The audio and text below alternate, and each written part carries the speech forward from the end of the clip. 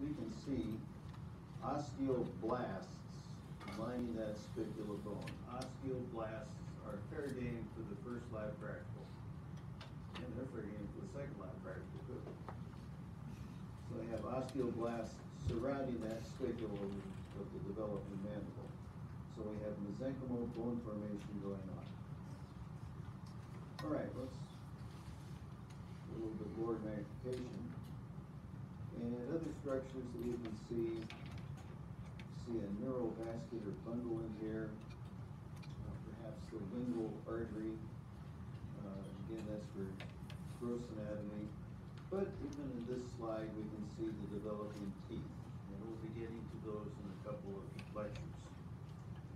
So we have tooth development going on right there and also right there. So this space would be what? The stomodeum. Palate has not formed yet, so we don't have an oral cavity and nasal cavity. We have the stomodeum. Okay, so that's on the first slide, and you need to look at more than one slide.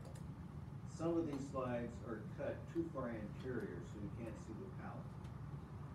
Bear in mind, these are pig embryos, so that it's not gonna look exactly what you would expect to see in a human embryo. Okay, well, a little bit further in development.